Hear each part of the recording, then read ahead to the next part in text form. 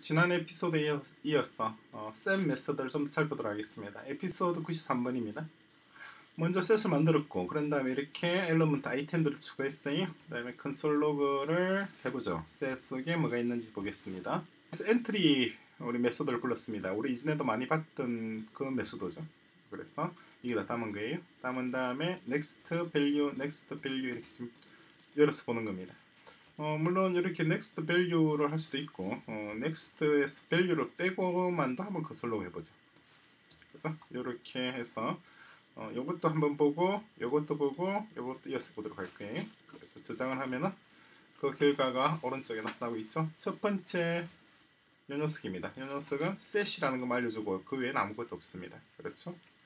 그런 다음에 어, 여기다가 next를 호출했을 때 entries method를 적용한 다음에 거기에 들어가 있는 데이터에다가 next를 호출했을 때는 이렇게 떴어요.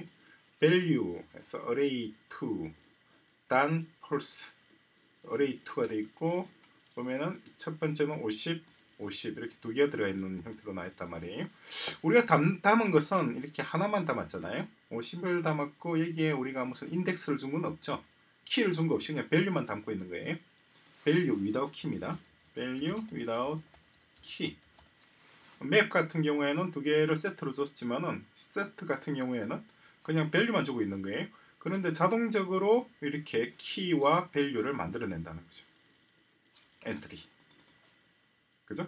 그게 어, 조금 우리가 이전에 봤던 set하고 다른 거예요. 그래서 어, entries도 있고 어, 여기다가 몇 개를 더 해보죠. 뭘 하느냐니까 이렇게 해서 set1에 keys를 담기도 하고 여기는 entries가 아니라 keys keys를 넣고 그리고 여기는 values를 하죠. values 그래서 우리가 이전에 봤던 object와 맵에서 봤던 그 values가 어떻게 적용되는지를 한번 볼 수가 있죠. 그래서 이 녀석들도 한번 여러분들이 이렇게 출력해 보시기 바랍니다. 그런 다음에 next만 하는 것이 아니라 next의 value를 보자 라고 하니까 이렇게 나왔단 말이에요. 30, 30, 40, 40, 20, 20 우리는 분명히 50 하나만 넣고 그 다음에 어떻게 되나요? 30을 넣고 40을 넣고 이렇게 했는데 결과적으로 보니까 이렇게 두 개가 들어가 있는 거죠. 그리고 50이고 30이고 40이고 그리고 조금 더 해볼까요? 그래서 또다시 이렇게 한 번 더 해보자. 또 하고 또 하고 이렇게 했을 때 결과가 어떻게 나오는지 보겠습니다. 일단 저장하고 그러면 40, 30, 20, 10. 첫 번째는 어떻게 됐나요? 첫 번째 맨 처음에 불렀던 것들은 요거잖아요. 여기 여기 40이 되고 얘는 20이 되고 그렇죠? 그리고 얘는 10이 되고 그죠? 10이 되고 차례차례로 element 아이템들을 차례차례로 불러오는 거예요. 처음에 불러왔던 게 이게 50입니다. 50이 불러온 거고 다음에 next value 했을 때 얘가 이제 40을 불러야 돼요. 근데 지금 30이 떠 있죠? 뭐 잘못됐네. 뭐가 잘못됐는지 다시 한번 보겠습니다. 이것들은 일단 제가 주석으로 처리해 놓겠습니다. 주석으로 처리해 놓고 처음에 50, 아 30을 넣었군요. 그러니까 30이 들어가 있죠. 그 들어간 순서대로 나오는 겁니다. 처음에 50 들어갔고 다음에 30 들어갔고 40, 20, 10 이렇게 들어가 있는 거예요. 30과 40 순서가 바뀌어 있습니다. 그러니까 출력되는 것도 30과 40이 순서가 바뀌어 있죠. 그죠? next를 호출했으니까 어쨌거나 그 다음 단계로 다음 단계로 다음 element로 당당 넘어가고 있는 거예요. 그래서 value는 이렇게 돼 있고 이게 value란 말이에요. 그리고 단이라고 하는 게 하나 더 있습니다. 단은 엘리먼트가 내가 아이템이 이 셋에 들어 있는 아이템이 다 우리 하나씩 다 봤느냐 다 불러왔느냐 다 불러왔으면은 true 아니고 아직까지 아이템이 남아 있으면은 false입니다. 그죠? 처음에 요걸 불러왔을 때 50을 불러왔을 때 남아 있는 건 4개 남아 있죠? 그러니까 다는 false가 되는 거죠. 그죠? 근데 마지막에 나중에 불러오게 되면 어떻게 되나요? 20, 10 여기서는 next value 하면은 다음에 아무것도 없죠. 그죠? 아무것도 없으니까 아무것도 날라오는 게 없습니다. 그러니까 undefined가 되잖아요. 그죠? 그러면은 value라는 게 없으니까 undefined고 value가 아니라 그냥 next만 불러오면 뭐가 있는지 볼까요? 아 재밌는 게 나타날 겁니다. 다시 한번 동작해 보겠습니다.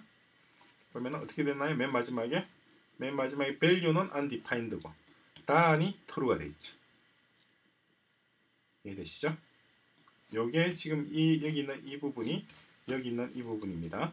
그리고 여기 있는 이 부분은 여기 있는 이 부분으로 나, 타나고 있죠. 그죠? 여기는 없단 말이에요. 끝. 어, nothing. nothing. 아무것도 남아있지 않습니다. 그러니까 next라고 하는 게 뭐라는 걸 알 수 있나요? next라고 하는 펑션은 어, 어떤 set, set이든 혹은 map이든 혹은 array든 그죠? 세 가지를 말씀드렸습니다. 어, set method라기보다는 이거는 next라고 하는 메소드예요. next method에 관한 겁니다.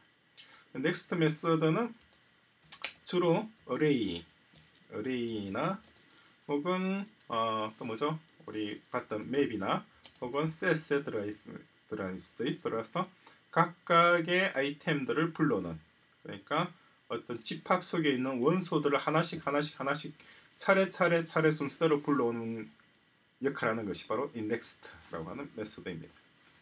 자, 그리고 불러오는 순서는 들어간 순서입니다. 들어간 게 50 들어가고 30 들어가고 40 들어가고 20, 10 들어갔잖아요. 따라서 불러놓는 것도 50. 이것도 next value를 하나 어, 하면 의미가 없겠군요. 어, 예. 일단 next를 한번 호출하고 나면은 자동으로 그 다음 단계로 넘어갑니다. 여기서 우리가 value를 호출하든가 여기서 value를 하든가 혹은 그냥 next만 하든가 상관없이 일단 호출되었으면 그 다음 단계로 넘어 다음 아이템으로 넘어간단 말이죠. 자 지금 요 그림하고 지금 이 그림 있죠. 이 그림에 set 있고 다음에 value object가 있고 다음에 30, 30으로 넘어가고 있는 그림이잖아요. 이것과 지금 이렇게 바꾼 겁니다. 이것을 주석 처리하고 요걸 해놨어요. 남겨놨습니다. 그것과의 차이점이 어떤가 볼까요? 그러면은 set 이제 value가 나왔죠. value가 나왔고 다음에 30, 30 넘어가고 40, 40 넘어가고 그죠? 그래서 우리가 한 가지 알 수 있는 게 뭐였나요? 어, 우리는 하나의 아이템을 넣지만은 set은 반드시 key value 형식으로 어, 저장을 한다는 거죠. 그래서 50 넣게 되면 50, 50 이런 식으로 저장이 되어 있는 거예요. 그래서 key를 뽑더라도 50 여기 있는 key들만 쭉 뽑더라도 50, 30, 40, 20, 10이 나오고 밸류만 뽑더라도 50, 30, 40, 20, 10이 나오는 거예요. 그래서 요것들을 어디 있나요? 요 녀석들을 나중에 요 녀석들을 뽑은 다음에 요것들을 포이치 문장을 써서 한번 음, 화면에 표시해 보시기 바랍니다.